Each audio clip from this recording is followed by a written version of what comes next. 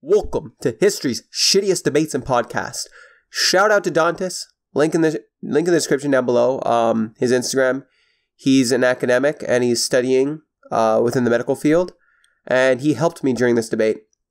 And anyone else, anyone else who helped my side during this debate, I'll leave a link down below, um, down below in the description to their social media if they want me to. Anyways, that being said, uh, let's continue the show. So, um, yeah, so like I'll just I'll just fill in the blanks for um anybody that perhaps is watching this on YouTube that you know didn't get the big gist of it. So, so we're gonna we're gonna go from the top here. Um, we're, sorry, not gonna go from the top here. We'll just continue with where we were talking. We're not gonna restart anything. Um, so, uh, Hi, how you doing? uh, hey man, this is kind of like a serious talk between me and him. Uh, not too bad. Yeah, it's all good. Um, I can kind of contribute if you need, but I gotta go in like 25 minutes, but I can stay for a bit. I mean, like, yeah, sure, he has questions for you. Um, anyways, yo, Opie, so, like, um, all right, so, did you want me to continue my story, or?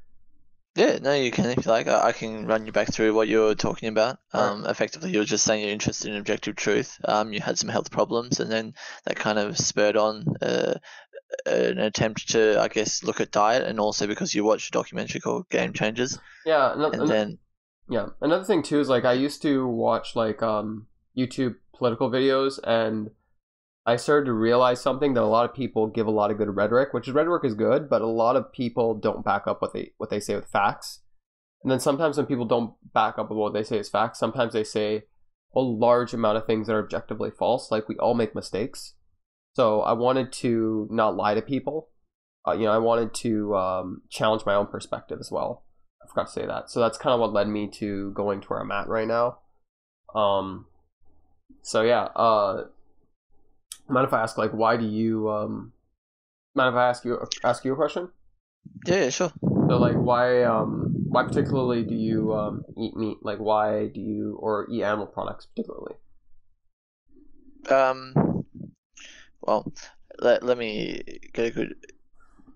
So I, I'm also like yourself interested. I guess what I would gen- I'm gonna assert like kind of put these words in your mouth, but I'm interested in maybe kind of optimal health or also kind of like treating um, disease, like especially kind of modern disease through kind of diet, because I believe the modern diet is uh, highly causal in a lot of the like even though we have a longer life expectancy, we look at the of the quality of life for a lot of people is ripe with like um autoimmune diseases. And you know as you uh, I don't know if you want to reveal I, I won't say what um kind of thing you were talking about but uh, there, there are many people that have you know and I, I've followed uh, on the internet specifically YouTube as well watching a lot of people discussing diet and also philosophy and all these different things and how they kind of intersect which is like this pursuit of truth because people are experiencing kind of such pain through digestive issues or um, or other autoimmune kind of conditions, and thus kind of they start to look out into other communities.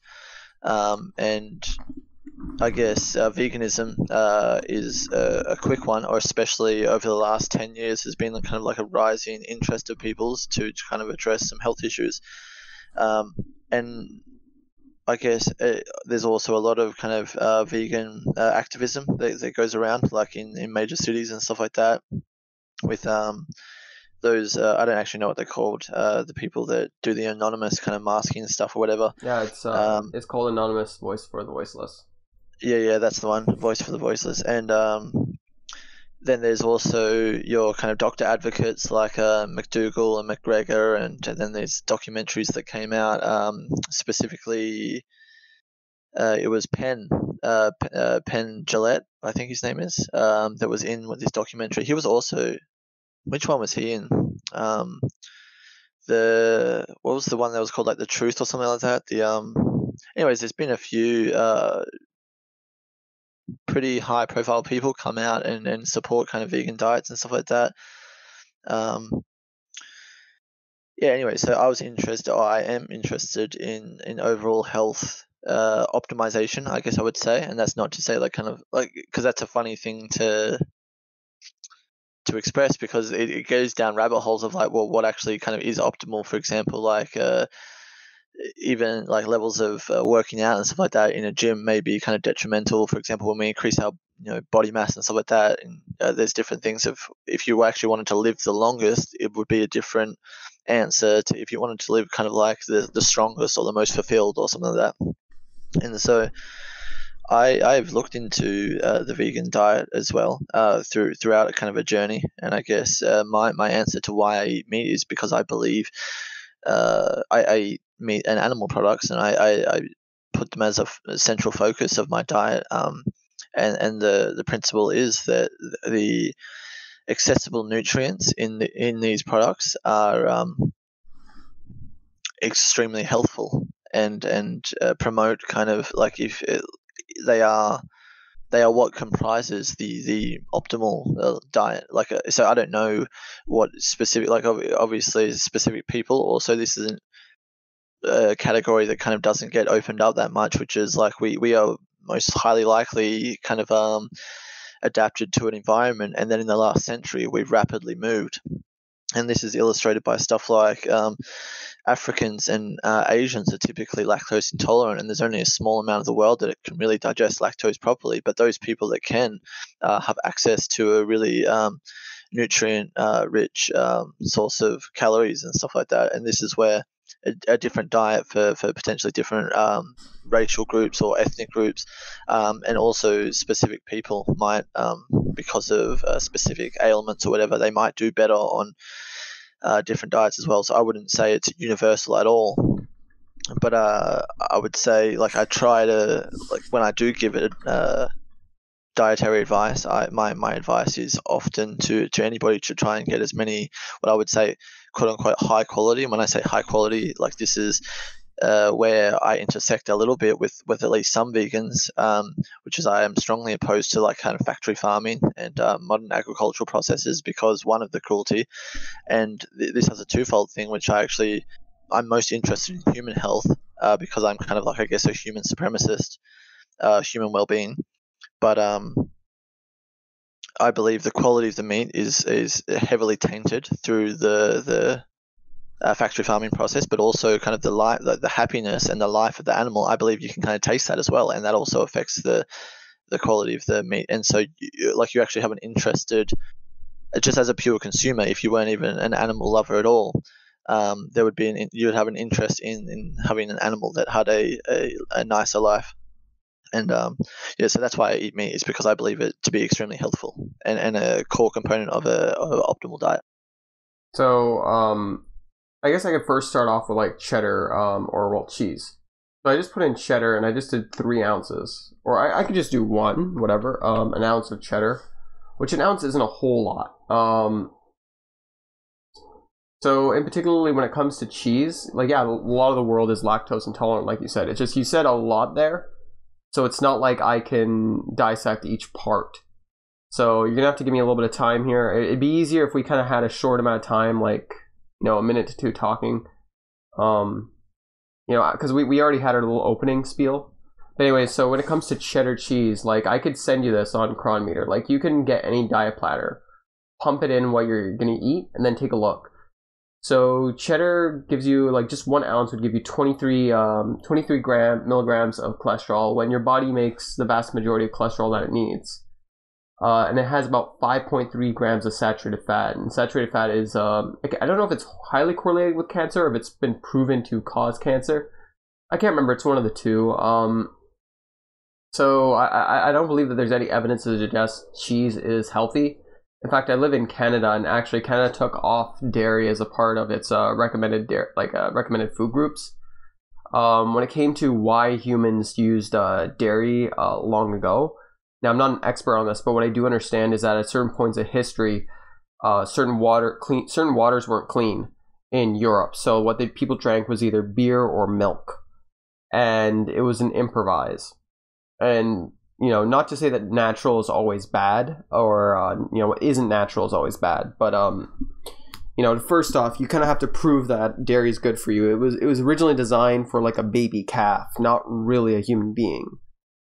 Um, so yeah, and uh, I mean like do you, have anything else to say about that? I mean, like, I, I'm not sure if you've ever seen. Yeah, I'd love, I'd love to jump on dairy. Dairy is a usually a controversial one because it, uh, like it's one of the first ones that people eliminate and often find like really positive uh, health impacts, like whether they have acne or, or digestive issues. When they eliminate dairy, they they, uh, they tend to find uh, dairy and gluten are two um, foods that people eliminate frequently and then find uh, good turnarounds.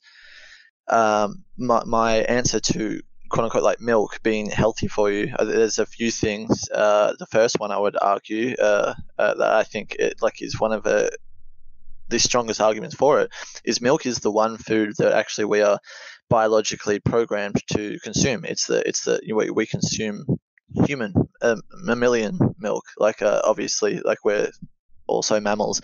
Obviously, there's a different composition, uh, slightly, of what a human produces to a goat or or a sheep or a a cow or, or a camel or what have you. There's many mammals that we can drink the milk of.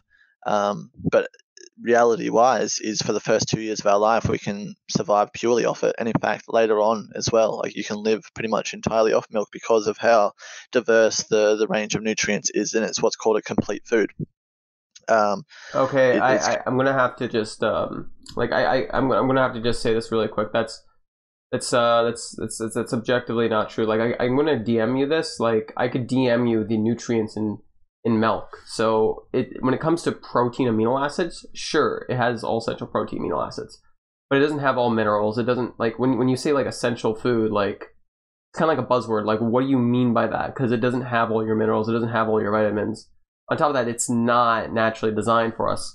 I mean, like Beast from the East just but posted. Just, hold, just, hold, on, hold on, hold on, hold on. Beast from the East just posted um an a scientific study um talking about dietary dietary fat um that are linked with cancer. I mean, um, I'm not sure if you ever saw the James Wilks debate with Chris Kresser.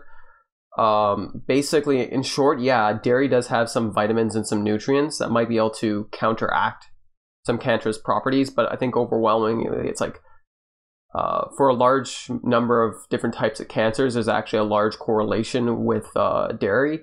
And I'm not super, I'm not super educated on dairy in particular, but when I also, and the other thing too is, um, we've only been eating, drinking dairy, eating dairy for about ten thousand years which I isn't suggest a whole you lot interact time. with what I said because you're completely ignoring it, and this is What- it's what- a little bit upsetting. On, no, no. we we did I, spend the what first two years of our life. We, we we you said that we're not biologically programmed. No, we're not. To, to no, no. We're, yeah, but that, we are. that's We spent dairy. the first Yeah, two I'm years. talking are, about cow's dairy. No, no, no, no, no. We're talking about cow dairy. Like mammals generally have um, milk when they're babies, not when they're adults. Yes, and then we develop a lactose intolerance, but but European peoples have have mutated to be able to tolerate lactose later on in life, and thus the intolerance of uh, milk later on. The, the reality is we are programmed to consume milk because this we are mammals that drink our mother's milk for the first two years, and it supplies us with everything we need, including these saturated fats that are supposedly yes it does. A baby No. lives entirely. No, no, it applies. No, no, you, Yes, it doesn't. yes, no, no, yes, no, yes. no, no, no, no, no, no, no. Hold on, hold on, hold on, hold on here. When you say everything, could you just explain what that means? A baby sustains its entire life. It needs nothing else but milk for its first several years of existence. This is what most babies, especially like for a thousand, you say we have only been consuming milk for 10,000 years. Well, for the entire human history of since we were mammals. So I don't that's know how many millions of Okay. years you want to go back, but we've been consuming milk. Yeah, but that's kind. yeah, but that's actually at this point it's that's a straw man because I'm, I'm referring to cow's milk. I'm referring to milk from other animals. I'm referring to humans consuming dairy from animals past the age of being an infant. I'm not referring to breastfeeding. I'm not going to say breastfeeding is unnatural. So It's do we- negligible though. Like for example, when we're looking at like if you were to have a, an infant that No, no, no, no, no, no, Couldn't- no. But you, you understand at least what I'm saying here, right? I, I, I wasn't saying you know breastfeeding. Yeah, yeah, I understand what you're saying. You're saying, okay, there's one mammal and another mammal, and you're saying the milks are completely different, and thus we should analyze them differently. But if we just say milk in general, when we're talking about saturated fats and the and the general vitamin profile of milk, this is actually what we are biologically. The only thing, the only thing that we have a natural taste for, that we have a born kind of preference for, is milk. And then when we move, like when we want to go past the category of milk and say, okay, we're talking about cow's milk, sheep's milk, goat's milk, camel's milk, all other am- mammals um, minus humans. You're saying no, this is the category of milk that we can't digest or that we're not naturally supposed to have access to. although there has been a 10,000 year time period where we have obviously had access to that, And then then we then we analyze scientifically. Then we say, well, what is the comparable difference? What what are we looking at there? And and obviously for a specific, like a human mammal milk is like the the saturated fat content and stuff like that is specifically designed for a baby. But then when we're looking at like an adult who can uh, consume milk and in addition to other things the balance of its saturated fat profiles and stuff like that are kind of negligible in their importance okay, so you, you, you, you okay, so how about we just try to shorten this down a little bit?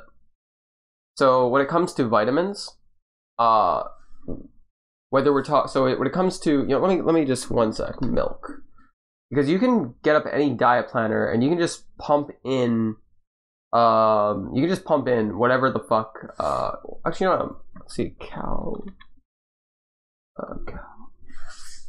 So I just grabbed Family Cow raw milk. So let's just take a look at what vitamins this has. So right off the bat, um, Family Cow raw milk. What I found was like thirty, like some vitamin A, like ten percent. But when I go to like Cheddar, and I can I can actually screenshot this from you for you. There's no B three. There's there's um there's very little B one. There's very little B six. There's a bit of B twelve. There's very little fluorate. No vitamin C. Very little bit of vitamin D. Very little bit of vitamin E. Um, when it comes to minerals, there's no magnesium, very little potassium, and very little mag. Um, very little what was it? Uh, very, very little bit of iron, very little bit of copper. It doesn't have all your vitamins and new uh, minerals. Like, where are you getting this from? Because you're you're saying this gives you all your vitamins and minerals. Do you have any studies to back that up?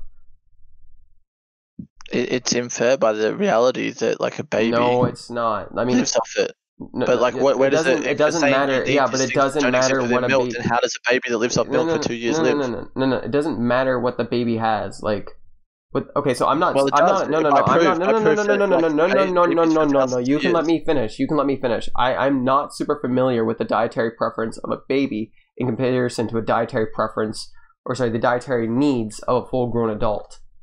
You're, you're making claims. I'm just asking you to give me any studies on any of these claims. That's all I'm asking. That's no, all. there's no study required. It's it's It a is. priori knowledge that no, no, no. If you can't like functionally state like in your own mind, okay, babies thousands of years don't have teeth. They're not chewing up. It's not like we we feed like birds and like chew up and regurgitate for our babies. A baby for the first two years pre teeth is not eating solids. Is only consuming milk. You know, what, uh, Dantas, since you're you're you're probably more familiar with nutrition, do you wanna do you wanna do you wanna chime in here? But I don't think that's Uh, controversial.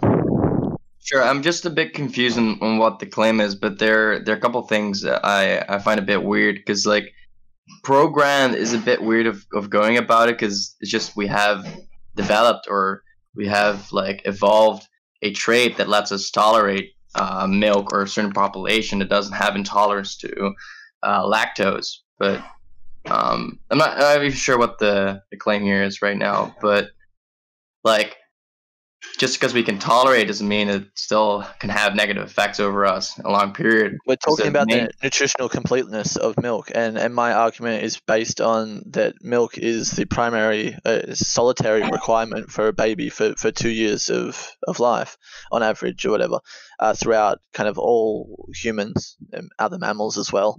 And so the argument kind of extrapolates from there that milk itself is actually nutritious and, and completely uh, sufficient for human life for at least two years. And then later on, my argument is when we're comparing arguments of other mammalian milk. So first of all, we're analyzing human mammalian milk, and we're looking at the saturated fat profile and all the vitamins and completeness, uh, nutritional wise. And so there's no contention there because you would have to be kind of a little bit out of touch with reality to argue that human milk is bad for, for humans. And then from that, we understand that milk in and of itself isn't bad because we are mammals. And then we extrapolate, okay, well, other mammals, what is the comparable difference between milks? Okay. Um. So, but what what would be the the exact proposition? I'm I'm still confused. Well, that milk is uh, healthful, that it's nutritional, that it's got profiles of For adult nutrients, But complete. I How- just, uh, hold on, hold on, hold on. Hold on. Something you Okay. something you earlier said was that milk has all the vitamins and minerals that you need. I was just stating Yes. I was just stating that I just I just looked it up it doesn't have all the vitamins and minerals you need Then you would you would have to explain why babies don't drop dead. Because their vitamin and mineral their vitamin mineral demands will change as they grow older. And I'm not sure like anyways, Dantas is probably better to handle this than I am. But But see, that's a it's Yeah, a but- logical truism that either it either is complete uh, because babies can't like uh, can live off it, or it's not, and babies would die. your If- age if a baby- the difference of No, age logical- changes what you need. Yes, okay. So we're saying within the period of the first two years, it is complete dietary requirement for a baby. There's no contention there. So within human milk, at least, we say that this fulfills every single basal requirement for human life to sustain itself. Okay. Uh, uh, yes. Like one So we move on from that, and then we compare. No, no, the no, no, no, no, no, no, no, no, no, no, no, no. I wasn't agreeing. I was saying, okay, dude, I, ju- I just posted, like, I just posted exactly what I was talking about in, in general chat, just so you can see. Like, I, I just want to see what was the mineral and vitamin profile. Most foods don't contain everything you need, or else people would just generally eat only one thing. I wasn't agreeing with you. This was two cups of milk. Like any, you don't need to be a scientist. You could just pump this, punch this into any diet planner, and it'll show you approximately what you're getting. Well, not really. Like you got to look at like which milk they're testing and, and et cetera, et cetera. Like this isn't representative of all milk, for example. Like uh, again, the the Well, truism is stated through. Okay, but look, I, I think fir- first thing, uh, I'm not sure. No, you just made you just made the perfect point right there, and I don't know how you're not realizing this.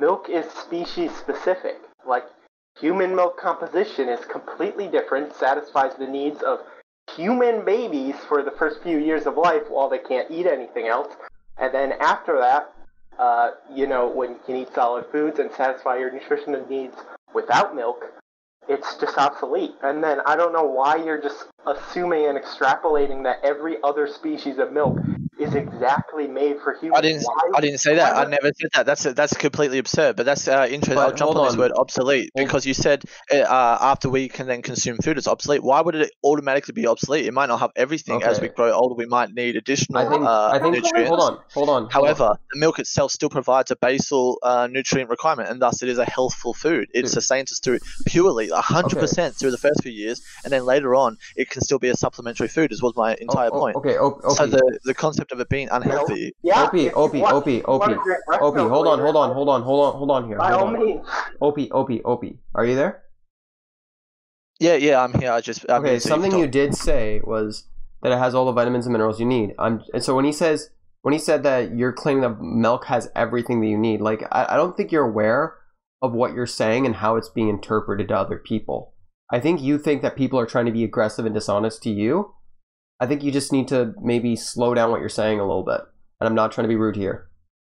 No, So I- I I, I've I've given a clear point, which I've said. Uh, so for the first two years, a baby lives entirely off milk. So for those two years, a baby has everything it needs. Now later on, potentially human. We and this is where the discussion comes in. What are the additional requirements of a now three-year-old uh, human or a five-year-old human? Or alternatively, what I've also suggested was then we compare also mammalian milk. What is the difference in the profile?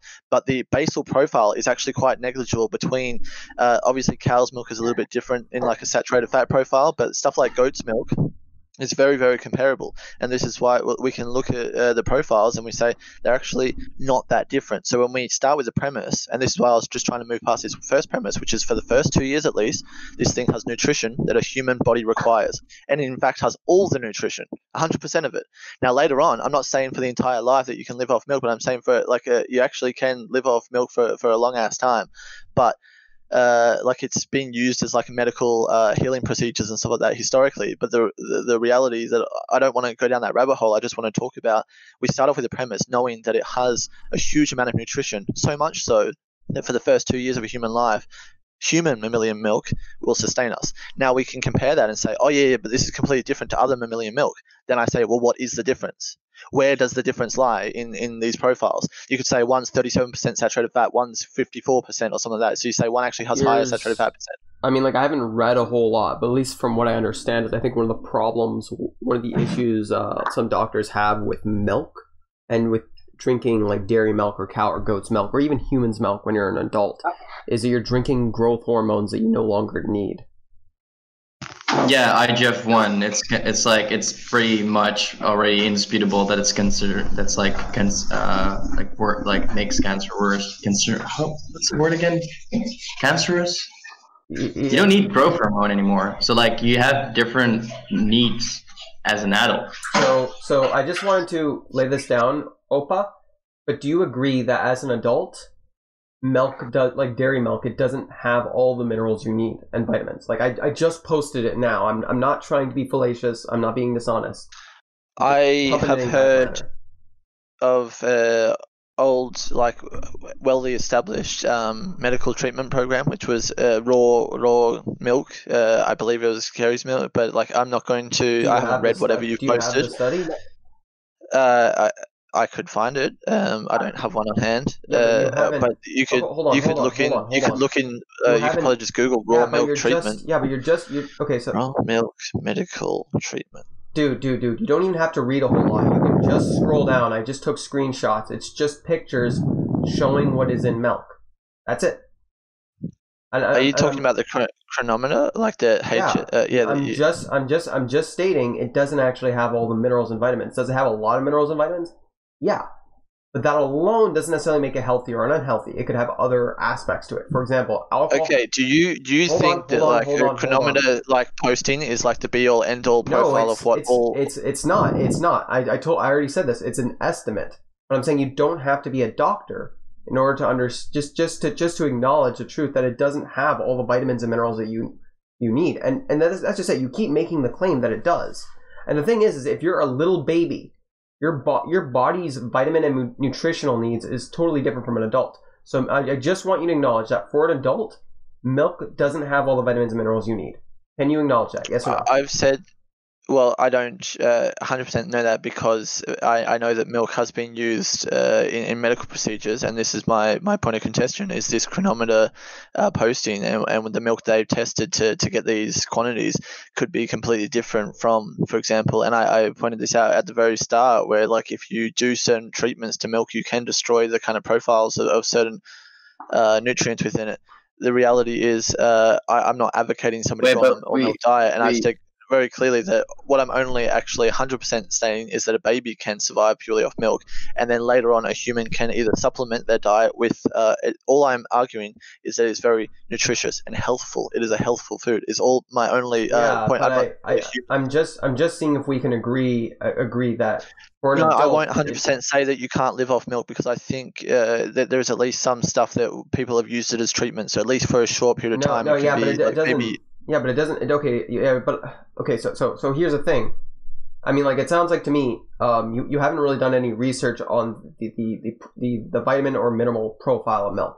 Does it have a lot of vitamins and minerals? Sure. I, I'm not I'm not even going to sit here and say it doesn't. But I'm just saying you're making claims without any facts, and you're not even trying to look at look at anything. You can, you can use any diet planner, and it, you know there, there's very few foods that have all vitamins and all minerals. Whether that's meat, dairy, there's very few. I, I, I can't even think of one thing off the top of my head.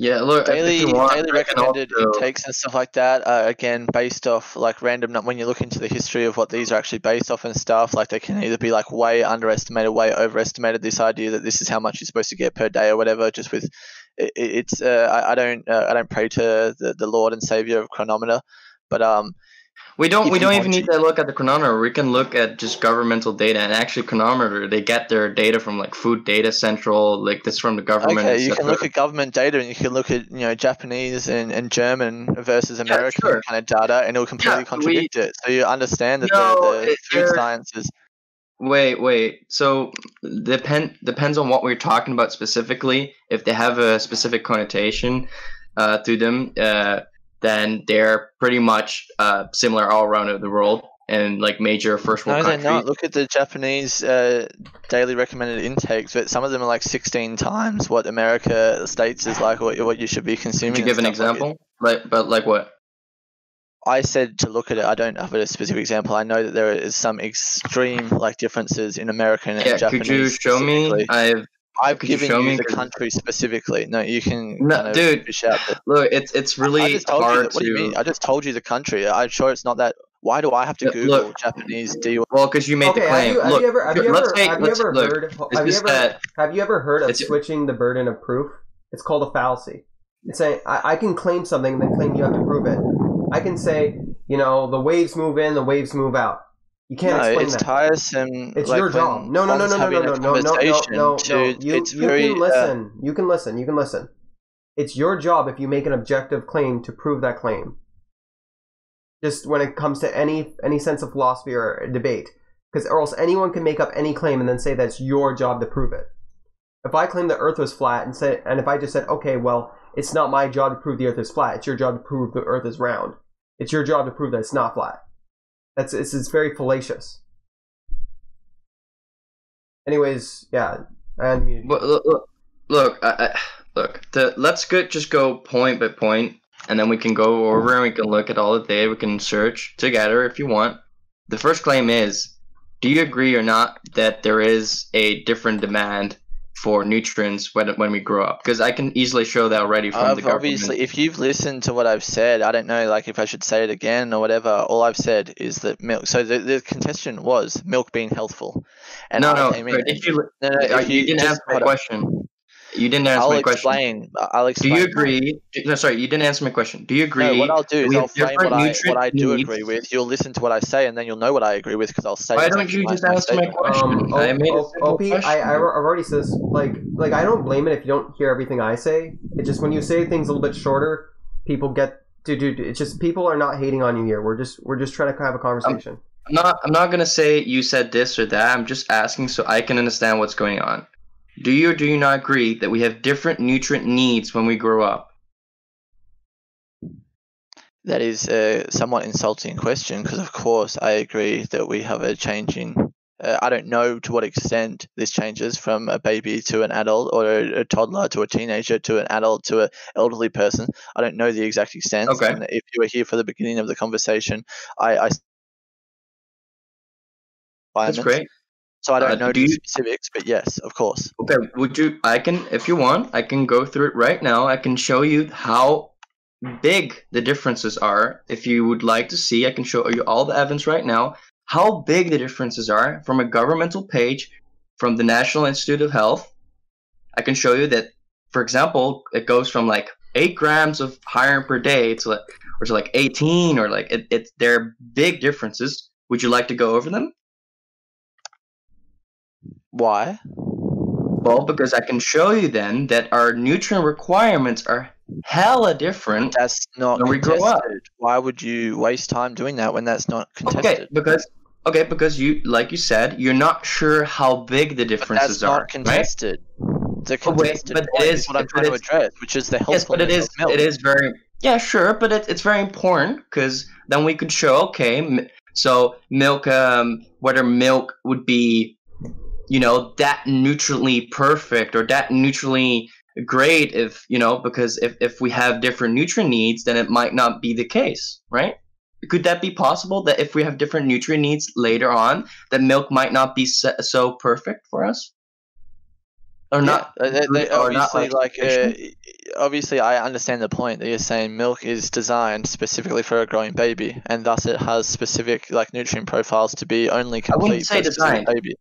I would never say You, design. you never. can you cannot say desi- uh, calibrated together. They evolve together. Whatever you want to like say. yeah. Like design is, is somewhat of a easy reference point to say it's tailored to to the two two entities uh, uh, uh, matched at one point. Or I guess you could come up with some better uh, synthetic uh, combination than than a, than a No, sure, sure, fair enough. Okay, I, I get the that you don't mean like designed as in uh, programmed or thought of or like uh you know w- with the conscious mind behind it. Sure. So um well the point being would then be okay. So um I don't need to show you because you, think it's you would already believe me my word for it or because then we can go over to the next point. We already agree with this, right?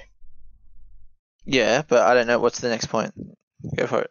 Okay, so yeah, okay, we agree that we have different needs, etc. And now the question would be, okay, there's certain stuff and uh, milk still has a lot of nutrients. Milk still has this and that that would be good for us. the question then would be, okay, if we look at milk in its entirety, does the negatives out, uh, or does the positives outweigh the negatives? Are there any negatives? Are there any positives? Right? Then we have to look at the whole thing, right? And then we can decide, okay, it would be positive based on our nutrient needs or not, depending on the entirety of milk, everything that's contained. This is what I Yeah. meant, this is what I meant by there's growth hormones in milk that aren't meant for you know human adults or teenagers. So, would you agree with that assessment that that would be a fair way to to understand where it would be good for us as as adults? Hundred percent.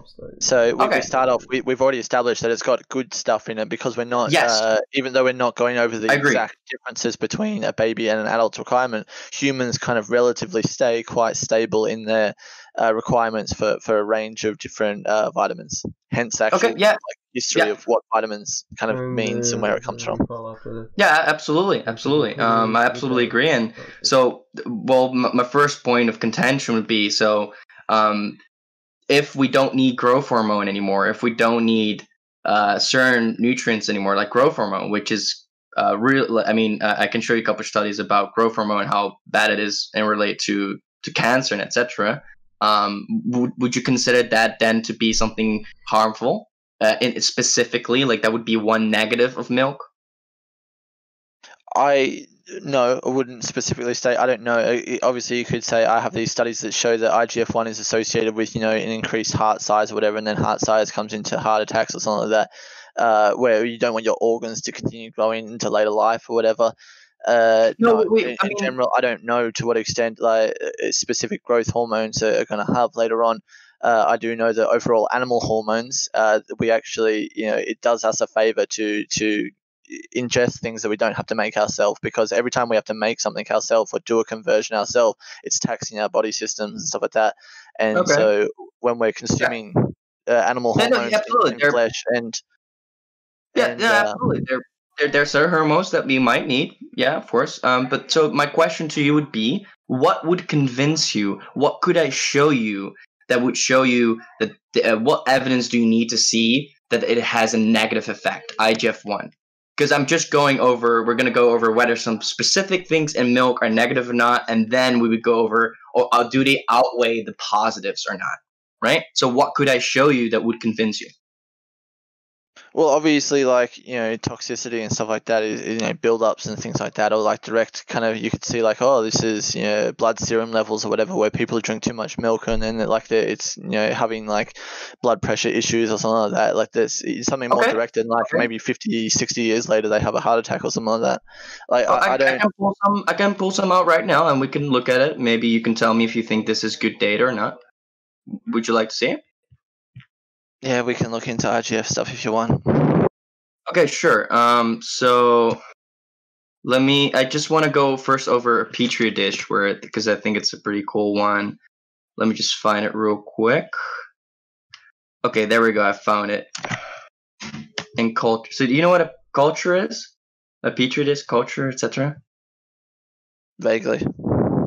Yeah, just when you put it in, like you have uh, a thing. But so here, for example, from this study uh, from 10 of Lions, a, a scientific journal, cow's milk stimulated growth of uh, prostate cancer cells in each 14 separate experiments, uh, preceding an average growth rate of 30%. In contrast, almond milk suppressed growth of cells by 30%.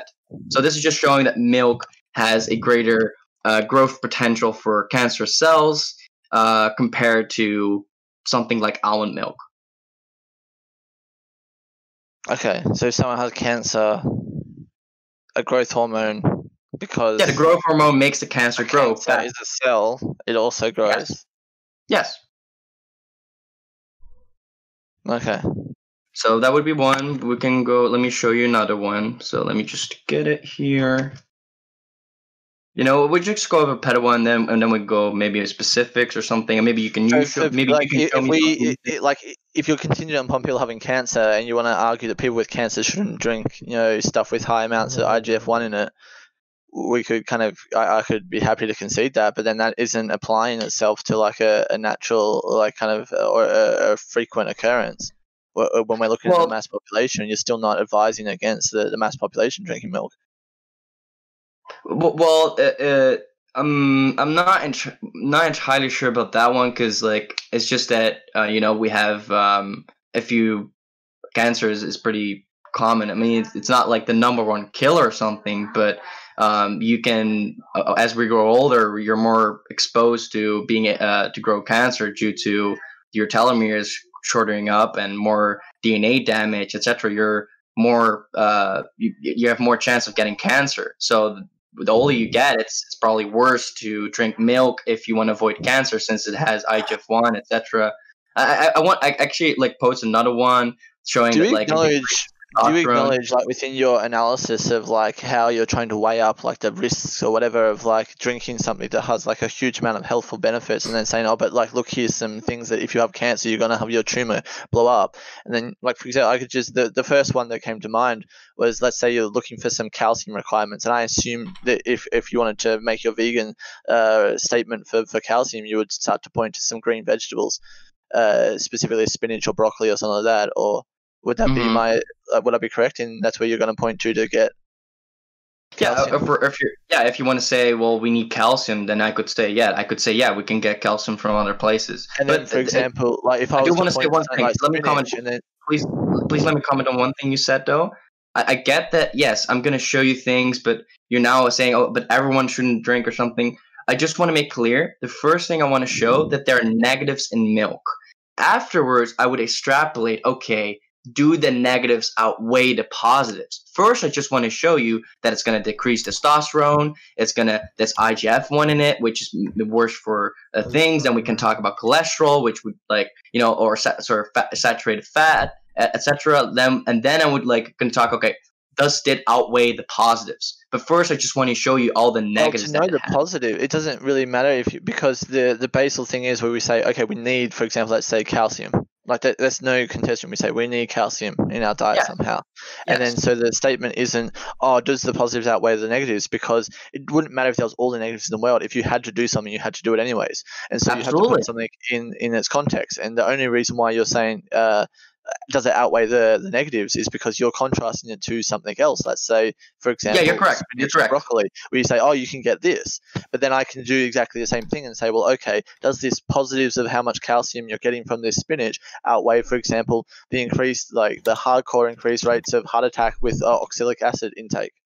Yeah, we, we could go we could go over all the those ones. Yeah, we, we I think we should I think we should exactly do that. And I I want to say yes, if you have nothing else to consume, then you should absolutely consume uh, something. Uh, and yeah, if you need calcium and you can't get it from somewhere else, then yeah, you absolutely need to do that. So I would be talking in this case about someone that has the the capability of eating something else. So whether milk would be preferable to broccoli or spinach or anything else, right? So that's why we, we should definitely um, yeah we, we, we, need and we should go over everything specifically. Yes, that we, we should absolutely do that. That's why that's how they evaluate. And I think the most important thing that we could look at in the end would be okay, do people that drink milk live longer, etc. Those those things. Is living longer the the ultimate uh, of what you're uh, aiming to achieve? Well, um, so better life somebody- quality and better, yeah. So better life quality and quantity, both. So quantity and quality, yes. I think we need to reset the debate proposition. We're just talking about dairy, and it's just pointless. You know, but I mean, there there are some specific claims I about mean, dairy on the Beast- table. So Beast from the east. When we first started this, um, I asked him if he wanted to debate or if he just wanted to talk in general. So, and and, I asked him. If Yeah, but it was initially about veganism. Now we're just this is just kind of out of hand. It's just mechanisms. Yeah, out of hand. Yeah, well, it depends. Opie, do you want to continue this? I I wouldn't have bunked it down so hard on the one subject. It was something that it was the first one because I think uh, you spoke about milk or something like that, and I wanted to defend milk uh, immediately, but I think that I forget what all the points were now. Um, unfortunately, I don't have that much more time. I did tell you like an hour, about about an hour ago that I would just have a half an hour conversation, but I will give it another Alright. fifteen minutes if you All right, want. so Um, I guess well, we can always continue later as well. So, Yeah, I'll- uh, but I'll, I'll step out. But yeah, good talking to you. Like, dude, I hopefully, you know, we, we, I think we should definitely look into everything specifically, Hey, w- uh, whether Don- the alkali or not. Dantas, maybe you should DM him some of the studies you got. Sure. Uh, So- I guess I'll send you a friend Oh, invite or before you go, is there anything else you'd like to quickly touch on, or I will. Uh, we could maybe get one uh, brief, uh, like move along subject or whatever, if we wanted to, to get one more thing because everyone's here to listen or something like that. Um, and as I said, I'll give it 15 more minutes or Do you 20 more want to minutes. talk if- about the like, philosoph- Do you want to talk about the philosophical aspect of it? Do you believe like what you want to talk Yeah, about? I think that's an interesting. Yeah, I think um, it, we, we can maybe move past nutrition because it goes into a lot of like uh, empirical sciences and stuff like that, and then kind of contestations of what like requirements we have and all these things. And so yeah, maybe we, uh, you can maybe uh, present something uh, philosophically if you like. Okay, so I can have a proposition um, that uh, a, a vegan world or a world with people consuming less meat or no well no animal products or less animal products will um, will be beneficial towards um, society as a whole on um, an environmental level, mental health level, as well as uh, economic level. So I wouldn't mind talking about that. Yeah. So um, basically, a, vegan world is better for society. Is my proposition. Yeah, so, Right, so- I, I completely uh, contest probably like every single one of those points, uh, and so I guess this rapidly devolves into an empirical like uh, like the citation, and so I guess if you want to go down that realm, it'll probably fall back into a little bit more. But I think it is as much as possible if we can kind of uh, focus it on kind of our own internal kind of uh, core principles and why we what how we feel that relates back to what a vegan right, lifestyle so would, you- would Okay, so I'm actually curious. Do you care about animals or do you care about humans? Or Yeah, I, I uh, like I, I would call myself an animal lover uh, per se, uh, but in the sense of my overall uh, assessment is that uh, animals, human, like I'm a what I would call like a human supremacist in the sense of I don't believe when it, for example, it comes to questions like name the trait. Uh, that this is even a valid premise to begin with that we would even consider like obviously name the trait gets into an abstract realm but in the, when we apply it to our universe uh, how we're looking at us and them, I guess, is, is a completely different picture. And I've got a few internal reasonings as to why that is. Name name the trade is a good consistency test, but it's it's not really. Yeah, it's not an end all be all. So, in particularly, um, I, I guess one particular issue I could I could just tackle is the effects that it has on slaughterhouse workers because you you do care about humans, right? I uh, my my primary uh, objective is, is human flourishing, and I think that like a part of human flourishing is the coexistence with nature and animals as well. And so, How Yes. is factory farms nature? well, th- this is the thing: you'll never see me ever advocating Okay, factory who, who did that? The obese from the east. Just just dude, just let him finish. I um yeah, so definitely when it comes, I I, I think the the way we're engaged with uh, animal husbandry and all this thing is kind of extremely perverse, and this goes into kind of like the elements of like capitalism and how and profiteering and things like that. Um, but yeah, so I do care about humans. Uh, I, I don't think the, the the idea of you know killing an animal, uh, like in a certain way, obviously it can be traumatic, and, and for people that work in slaughterhouses, I, I doubt that this is uh, an optimal mode of, of human existence in this current iteration and so I would be in lockstep with uh, with uh, vegan advocates that were for. I, I do know there are some of them, but the the ones that are advocating for just like, for example, um, uh, changing, uh, uh, not changing. What, what would you call it? Like uh, reforming. Sorry, reforming. Uh, kind of farming processes to be more humane and stuff like that and, and push it into but i do know there are also some vegans that go on the other agenda where they want to make it kind of as extreme as possible because they want the entire process to end because there's some that believe Oh, any extreme as any possible. Extreme as possible sounds kind of. You're gonna have to excla- you're gonna have to really explain that one. What you mean by that? So, uh, like, I'll just say, uh, I, uh, and I'm not trying to represent this as any of your opinions or anything. I was just saying there are some people that believe any animal murder or exploitation is, is wrong and stuff like that. And so their aim is to, like, they don't uh, mind, like, it, it's irrelevant to them if it's, for example, somebody having their own uh, chickens in their own backyard or raising their own animals and slaughtering their own animals like that. Uh, compared to the factory farming process, they don't really see like because it's suffering is suffering to them. Um, that's where, like, I guess for me, philosophically, a lot of these uh, moral calculus questions really come undone when, it, for example, comes to. Sorry, I'm gonna rail off a little bit, just back to the the subject. Okay, of, this is I'm gonna I'm, I'm gonna have to stop you here. Um, like for example, when I mentioned something about Cronometer, I mentioned one thing, then we kept talking about it. If you mention like five things, it's kind of hard to talk about each one. So like, I'm I'm not trying to be rude here, but like, No, go for it. No, just go for uh, go for a response of what I said, and then maybe I'll, I'll pivot later.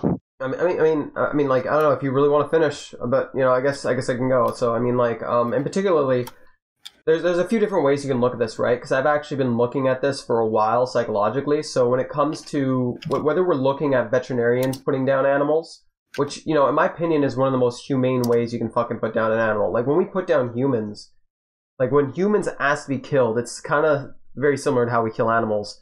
It's it's a it's a quick and painless death. It's an injection. Um, you know, and uh, e- even amongst veterinarians, there's about 11% rate of symptoms similar to traumatic stress. So there's a good chance about 11% of veterinarians experience some level of traumatic stress, or around 11%. And uh, when we're dealing with slaughterhouse workers, one of the articles I linked you was from a lawyer. Not only do they suffer from PTSD doubling, which is a form of personality fracturing, and then uh, desensitization, and slaughterhouse workers are a lot more likely, um, in one study that I sent you by Amy Fitzgerald, to commit crime, violent crime, and uh, wherever there's a slaughterhouse, there is often found a more likely link towards crime, violent crime, and uh, sexual crime. And in fact, there's a whole um, there's a whole um, theory on this called progression thesis in 2002, which only has more validity as time has gone on. Uh, Beast from the East, goddamn man, you gotta. I'm, I'm gonna mute you. Sorry. Um, so right, right, right, right, right. Um, not not angry, you beast. Uh, just hearing your typing. So right, getting on from that, like um, I, I could also talk about even how kids, when they harm animals, how there's increased rates of crime and whatnot. But in almost every single instance where I find humans harming animals, I see increased rates of mental health and usually crime. Now, I haven't found any statistics on to be to be charitable and even to try and criticize myself. I haven't found many statistics on hunting or fishing and killing insects are probably non-existent. But yeah, so I mean, like I I I, don't see how slaughter you know killing animals in any shape or form is beneficial towards humans, even if it's done in the most humane way possible. Well, that would like uh, so. Uh, it's actually quite an interesting um, approach that you've got there, and I'll concede that it like uh, when it, I would say that uh, a lot of that would probably be like a selection bias, as those people that kind of go into that field would already be the types that are inclined towards that. But also, like to even have that practice in your kind of community and stuff like that is kind of a, a scourge on our society eh, to a degree. Like I, I would say that again, the, the unfortunately the, the mass kind of uh, slaughter of animals like has uh, within it uh, those implications. Um, I don't I don't have a direct solution for that. Like when, when I romanticize uh, animal slaughter, it, it's done on a much lower scale, as you were talking about, for example, fishing and hunting and you know raising your own animals. Obviously, this isn't uh, practical for, for the vast majority of people, and so this is where we have the current system in place. But um, yes, that's definitely a concern. Uh, I, I wouldn't uh, deny that, I guess. So I mean, like, um, in, in particularly, so like, yeah, you can look at the studies I sent you. Um, you know, one of which was from a lawyer, one of which was from, um, one of which was uh, a, a study done looking at different countries controlling for populations. One of which was a Yale Global Health Review that was referring to some of these studies, and one of which was, like I said, the veterinarian killing pets. But um, I could also go on about the animal empathy link. Wherever kids have animals like pets, they're more likely to show pro-social behaviors more research needs to be done exactly why. Is it because the animal cares for them or is it because the human has something to care for? But humans are more likely to have pro-social behaviors, less likely to to experience, uh, less likely to be, I guess you could say, um, uh, humans less likely to be fucked up in a short, simple sense. I could send you that study too. I'm, I'm you're probably not too interested in that, are you? The animal, uh, at least from owning pets, right? I, I might give it a look. You can send it if you like. Um, uh, where I'd like to pivot this was where I was uh, going to bring it back to before, which is we, we spoke about this initially when I when I said kind of like that I was what I would call like a human supremacist or something. What I would like to question, eh, I guess, is the the inverse of that, where it comes to kind of egalitarianism and the differences, like where we do value a human over an animal, and, and to what extent, and how we do justify that and then also a, little bit of a side point of like the, the different hierarchy of animals. I, I, did question when I first came into the server, like kind of one of these uh, premises because what I feel is to be one of the biggest contradictions is that it starts to equal we start to equalize kind of the validity of, of animals uh, to an extent and then also how we contrast the death of a usually humans tend to have a bias for, for larger more sentient quote unquote uh, you know creatures that we you know we have an affinity for. Obviously, ones in our kind of social contract, for example, dogs and cats in the Western world. Um, larger, also, we have a bias for rare animals, uh, endangered animals, and stuff like that. and we have uh, you know a disdain or not a disdain but we do culling and you know rec- uh, environmental care and stuff like that. And this is uh, sometimes very necessary to for example promote the life of one animal. We'll maybe slaughter many of another animal uh, and so I was curious as where kind of the philosophical consistency comes in from your perspective like when it comes to killing an animal is it is it justified uh, which ones are more justified than others if you if you believe so So first off, I'm gonna okay. So you're, you're essentially asking my moral framework, which is fine. So my personal belief as a vegan, um, my definitions have changed over the years.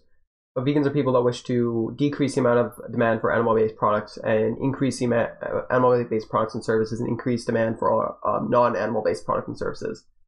There are people that have their own personal, subjective, um, philosophical, moral system of uplifting rights and decreasing suffering that try to act in line with their morals. So um, my my my first gist off is like it depends if you're a deontologist or a um if you're like a deontologist or like a fucking um utilitarian. Consequentialist. Yeah, like it depends on your philosophical framework, right? So I'm not gonna come in here and be like a moral puritist and say, oh well, you know, killing this is fine, killing this is not fine. If like something is, let's say, um, there's a certain level of uh, what was it? Uh, and there's a certain level which an invasive species becomes too much of a problem for an ecosystem. There's a certain threshold where I'll say, okay, it's time to kill it. Like I think there's a pine beetle in BC that um, where I live that actually literally um, I'm not super educated on it, so I might be wrong, but they essentially kill the trees, and then the trees become really dry, and then when a fire happens, the whole fucking forest lights up. So I wouldn't, I would be for killing those beetles, but once again, it really depends. And you know, sentient hierarchy, yeah, I agree, but and particularly, I'd say I, I want to avoid collateral damage, and um, I want to try and uh, move people towards plant-based alternatives for the economic reasons for how it affects slaughterhouse workers. And I, I also there was another thing I forgot to mention to you was also um, pet rights. So I was wondering if we can move on to pet rights, but um, uh, did, did or did, or Yeah, did I I'll give just- you a good I'll- I'll- did I not answer Well, you? Did I was that was that bad? it, it was was it somewhat of an answer, but I think it's a. It, and, uh, I'll just we'll move on a little bit to the pet rights, but I'll just say it sound from where you were initially going with it comes from like the the mental illness of the slaughter workers and stuff like that. It it was a lot of consequentialism and kind of like uh, like even just then you were referring to like kind of a pragmatic approach where it comes to a certain kind of trade off, and in one point there's a trigger for you, and it's like oh yeah we've got to cull these animals at this point because you'll look at you'll you'll listen to some scientific expert and and listen to the pragmatic kind of rationalization they have to slaughter these animals because they say, "Oh, look, this is going to do the X, Y, Z harm if we if we don't do this, and so we'll do this to maintain this ecosystem." I mean, and so these seem to be kind of uh, consequentialist, uh, at least justifications for uh, at times where it would still be regrettable, but you would would be condoning of the the action of, of mass slaughter potentially of animals, animal life. Uh, potentially, but I'd like to do everything I can against it. I mean, um, if there's alternatives, so I'm not just going to jump on the bandwagon. I'd, I'd want to do research. So I'd say to be a, by a case by case scenario. So is that good? Is that shitty? Is it you know good response? Uh, we well, move on. I, I think like it goes really deep once we start to kind of because then once we start to question consequentialism and pragmatism, then we just it, like we'll move past, but maybe at a later date we'll go into it. But like I Um, think it's I, I because it goes. I'm sorry. I'm sorry. I'm sorry. Did, I, No, no, I- just we'll we'll do we'll do your uh, animal pet thing uh, real quick, and then we'll uh, wrap it up from there. So, I think. I- think- deep for me. I think I'm going to just summarize it up like this. So I, going to first talk. Um, I'm going to talk about just two real quick things: pet rights, and then I'll mention, um, you know, uh, what people consider to be humanely slaughter. Um, so with pet rights, like it's a similar thing, right? So people that abuse pets are more likely to commit violent acts. My opinion: if we were to get to a point where we could get enough people to be vegan, um, and if we were to eventually be able to get to a point where civili- our civilization could legislate these animal rights, all animal rights, then um, I think it would decrease the amount of human suffering and animal suffering. In fact, in a lot of countries, it's legal for people to harm some sort of animal for some sort of reason. Um, and it's not not to say that there aren't nuances where people could eat meat and still legislate pet rights. Don't get me wrong, but um, basically, uh, there's there's an increased rate of um, domestic violence wherever you find people harming animals. Being able to legislate them rights would also help humans as well. And when it comes to humane slaughter, uh, last but not least, a, a big thing about it is um, actually before I move on to humane slaughter, there was one study which I can send you. Out of a bunch of women who on a women's shelter, like like 28 women, I think 71% of them admitted that their spouse threatened to harm their animals. uh, 51% or 50 something percent said their spouse harmed or killed an animal, and 30 something percent said their child tried to harm or kill animals. Um, now, and particularly when it comes to like fucking, um, what was the other thing I was going to mention? Because uh, vegans don't just argue for not eating meat. We argue philosophically, you know, from reducing suffering, like blah blah blah. But um, particularly when it comes to like um, um, right, right, right, killing like animals that you raise in a farm. I still have issues because number one, even if we decrease the amount of slaughter going on, it doesn't change the health side effects that these people have from it. Number one, number two, I mean, like if you were to raise anybody, or if you were to raise a dog or any human being, and if that sentient being trusted you and loved you, or had some sort of trust towards you, and if you took advantage of that social contract, contract, I find that to be kind of um, not only do I find that to be sinister, but in my personal opinion, I find that to be um, unethical, betrayal of trust. If it's if it's not if it's not um, there's no justification for it. In short that's just my perception. I mean, like a good example this would be like Silent Hill, like where that girl essentially got fucking murdered by her mother at age seven because her whole existence was to be raised as a human sacrifice. I find that disgusting. Um, you know. Yeah. So.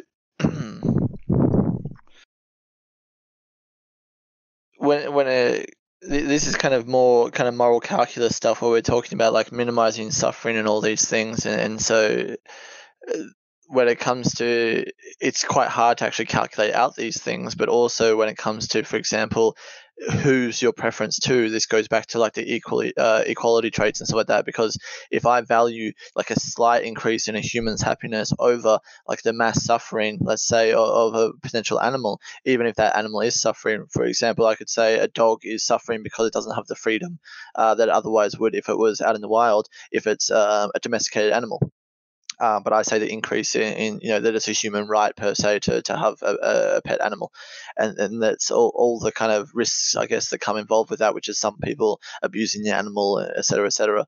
Uh, when it comes to this actually me- meshes in when we're looking at like from an evolutionary basis uh, we understand these animals in a way it, it, was somewhat voluntary you could say that we kind of culled off the ones that didn't choose to like so it was like you know do or die type thing but in a sense like these animals have benefited heavily from uh, co-adaptation with, with humans like these domesticated animals will uh this is one of the main I don't, I don't usually make it myself but it is something to reconcile when you understand uh, that if we stopped uh, farming these animals to the extent we are, that these animals would cease to exist. There would be no purpose for them. Their, their only existence and, and, and somewhat like of a responsibility that one almost has because once you've kind of effectively mutated an animal to the point where it couldn't survive on its own, where for example sheep are so docile that they would just be you know uh, slaughtered by by foxes and, and wolves or whatever uh, that like without our protection uh, so there's like some type of responsibility that like you're either leaving them out to like start like what are we going to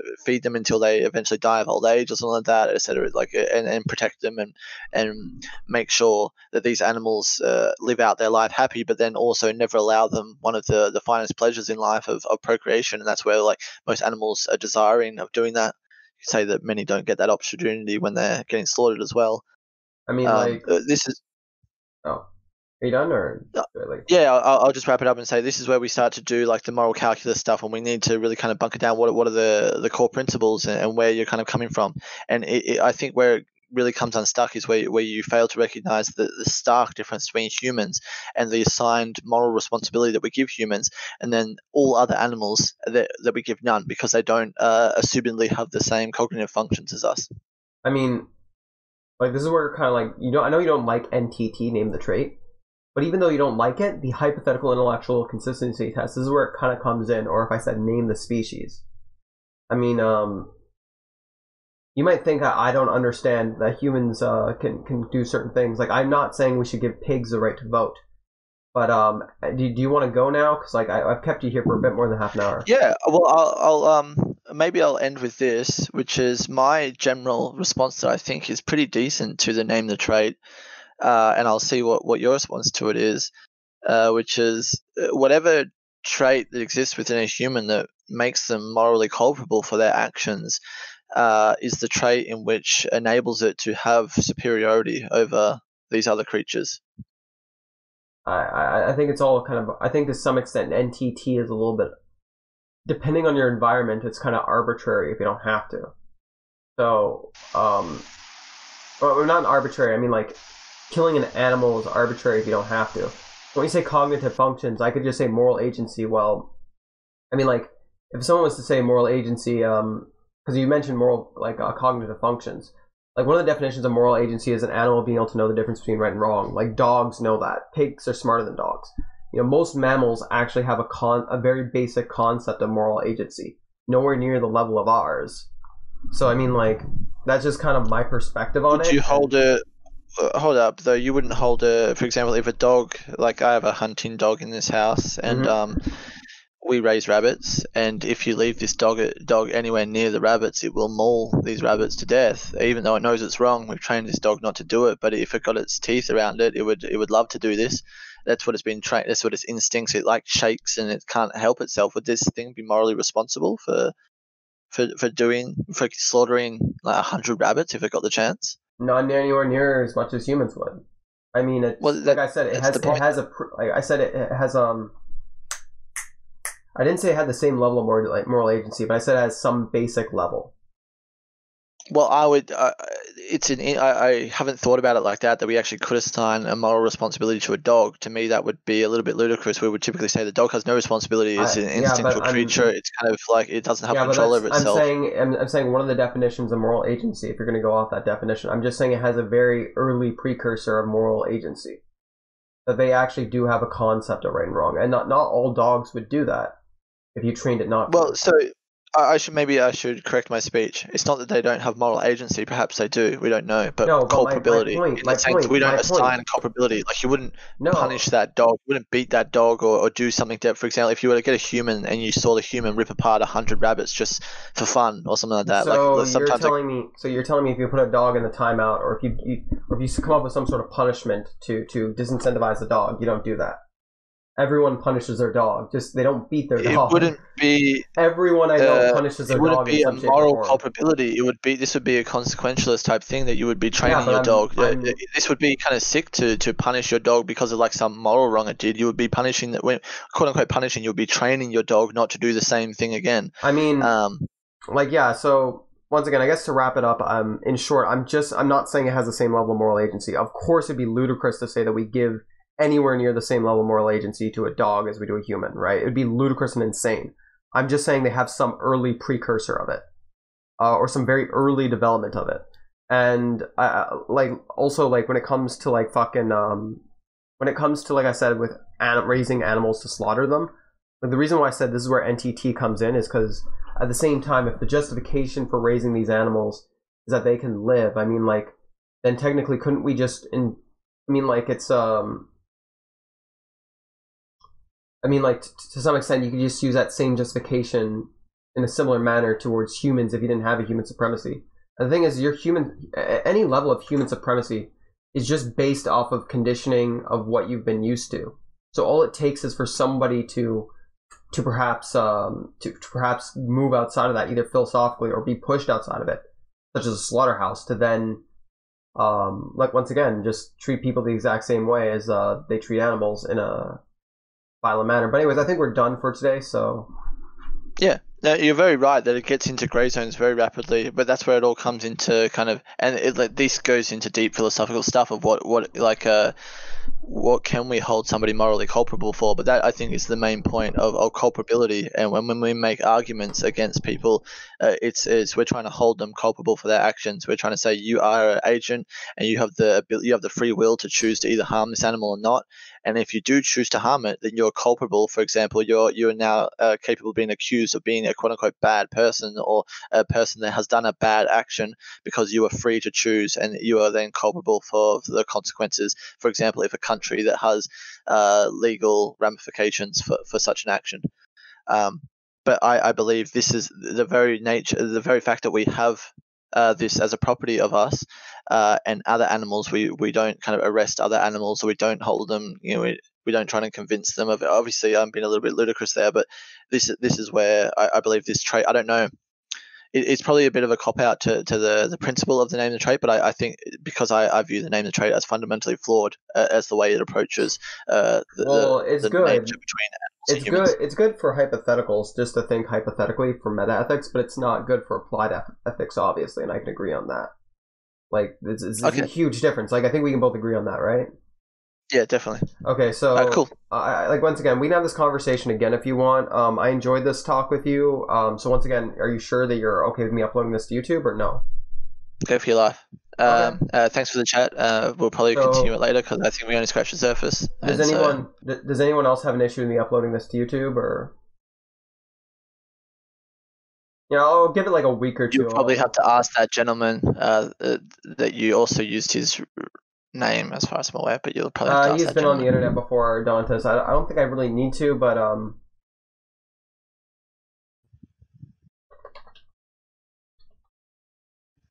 Anyways, no, it was a good talk. Um, yeah, good talk. Uh, feel free to look at any of those studies, and yeah. And I, I feel bad for I- keeping. I I feel, don't I feel if- bad. I feel bad for keeping you here past a half an hour. By the way. No, no problem. I, I, I'm a free agent. I, I'm morally culpable for my choices. Yeah. uh, uh, uh, I'm curious if anybody else. I don't know if you're going to stop recording and other people are going to talk, but I might just um like I'll I'll, I'll just stop talking and mute and maybe like uh, listen in a little bit and maybe type some. Um, but I, I'm curious is if you're all going to stay here and have a little chat or anything like that. I'll probably just chill around a little bit.